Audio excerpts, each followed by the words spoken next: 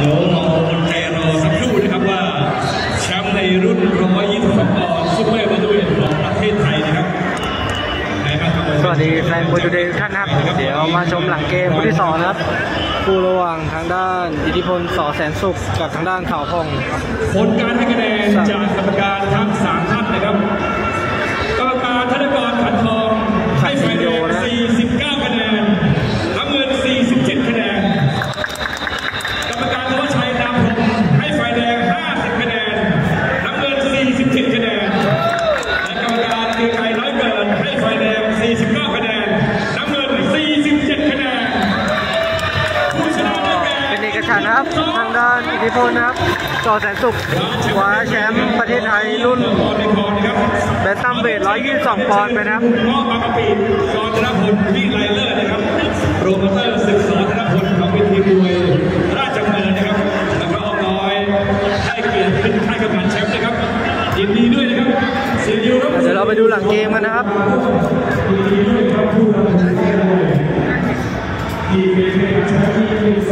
บรรยากาศวันนี้นี่ถือว่า คนแน่นสนามเลยนะครับ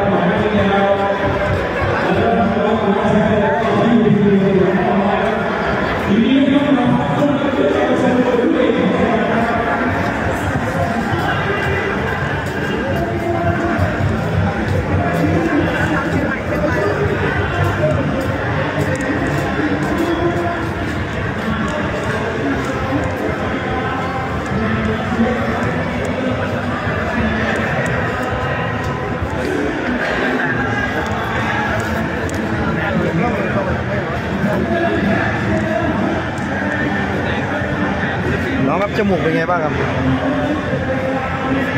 หักหักไหมหรือว่าไม่ไม่ไม่หักนะครับหักไหมหรือว่าไม่หักโดนตั้งแต่ช่วงไหนครับจมูกยกสองช่วงสองตัวนี้ทำให้ระบบการหายใจเรามีปัญหาเลยใช่ไหมแฟนๆมือคอมเมนต์เข้ามาถามเยอะเลยน้องทำไมฟันยางหลุดสองสามครั้งเป็นเพราะอะไรครับพยายามมันหลวมด้วยครับอืมมันมันไม่ใช่ไม่ใช่ฟันยาวของเราเองหรือว่ามันยังไงก็มันมันเก่าแล้ว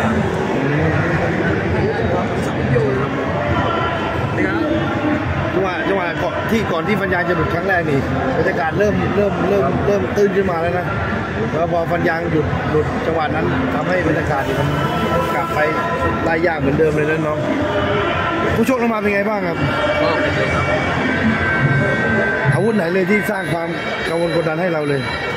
ก็โชว์ก็ดีครับอืม จุดเป็นเกมวันนี้ที่ทำให้เราพ่ายวันนี้ครับเราคิดว่าอยู่ที่จังหวะไหนครับน้องฟันยางหล่นเกี่ยวไหมก็เกี่ยวด้วยอืมหนักๆเลยระบบหายใจจมูกโดนศอกทำให้หายใจไม่ไม่สะดวกนะน้องเสียดายไหมน้องชิงแชมป์ในอดีตที่ผ่านมาเคยมีโอกาสได้ชิงไหมครับก็เกิดอะไรจริงครั้งได้ครับนี่ครั้งครั้งแรกในบางกรุงครับครั้งแรกในเมืองกรุงครั้งแรกในเวทีมาตรฐาน ก็ทำไม่สำเร็จนะน้อง แต่ว่าสู้จนวินาทีสุดท้ายเลย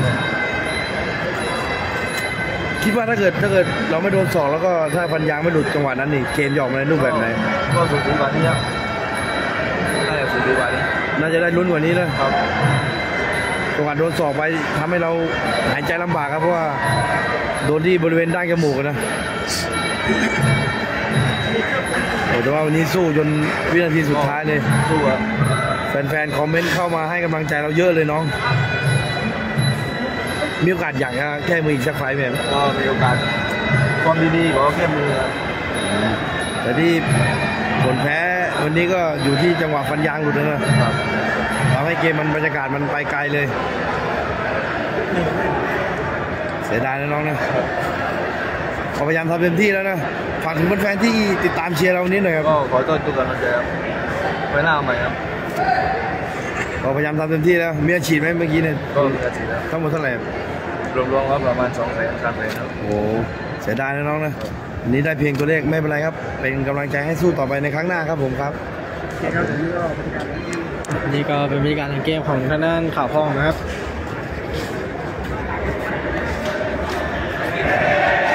เดี๋ยวเราไปดูผู้ชนะกันต่อนะครับ ทางด้านอิทธิพลนะฮะสอแสนสุข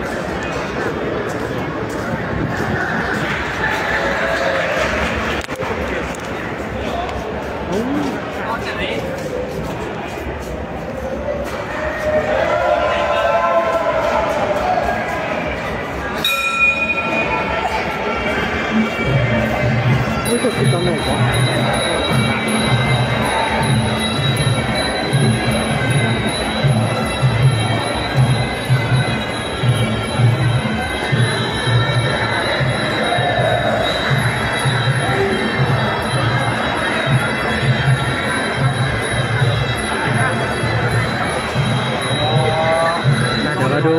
นะกันนะมาแสดงความยินดีกับโอ้โห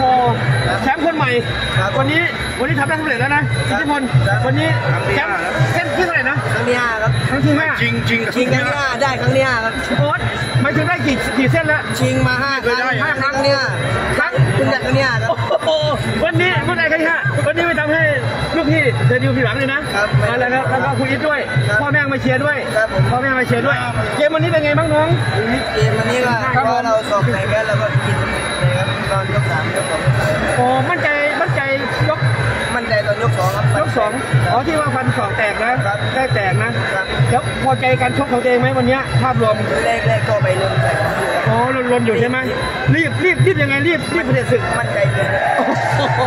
วันนี้มั่นใจแล้วก็เอาแชมป์ขาดแชมป์ได้ขอบฝากใครบ้างน้องฝากใครบ้างฝากฝากอิทธิพลนะฮะฝากใครบ้างเสียดิวแล้วก็อ่าเสียดิวเสียตั้มด้วยเสียตั้มใหญ่ด้วยครับผมโอ้โหให้ทุกคนนะครับ เอ่อชาวศรีมาวินครับผมแล้วก็ที่ที่ที่ที่เรียนยิมเซ็นทุกทีมขอแชมป์สุขด้วยสามค่ายเหมือนสามค่ายให้พี่ไก่สามให้ให้พี่ให้น้องนะ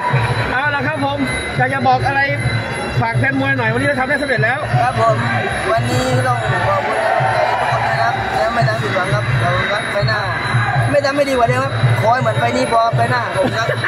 เสร็จเดียวครับวันนี้เป็นไงบ้างครับหนักใจไหมก่อนชกเนี่ยอ๋อไม่หนักใจครับน้องเขาดูมีความมั่นใจก่อนขึ้นชกนะก่อนขึ้นชกแล้วก็โชคดีเออครับครับครับวันนี้อาชีพน้องเท่าไหร่ครับวันนี้ วันนี้อาชีพสองหมื่นเองคอ๋รัอบสองหมื่นใช่ไหมฮะครับผมเอามองอนะคนน้องไงครับเพราะว่าวันนี้ถือว่าเป็น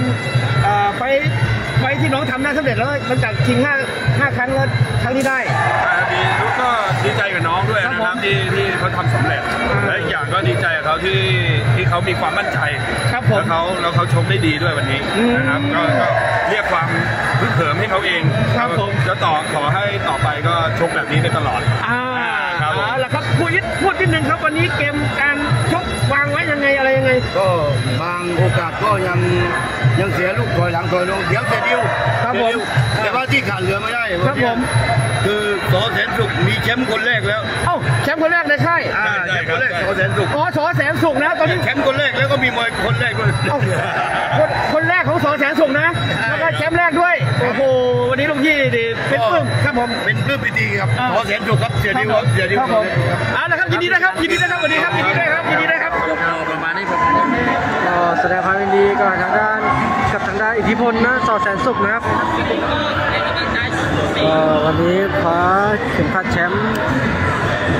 แชมป์ประเทศไทยรุ่นแบนตัมเวท 122 ปอนด์ไปได้นะครับ เป็นเข็มขัดเส้นแรกของเจ้าตัวเลยมั้งครับ ชิงแชมป์มา 5 รอบนี่มาได้รอบที่ 5 นะครับนี่ก็เป็นบรรยากาศหลังเกมของคู่ที่ 2 นะครับศึกมวยไทยพันธมิตรนะครับ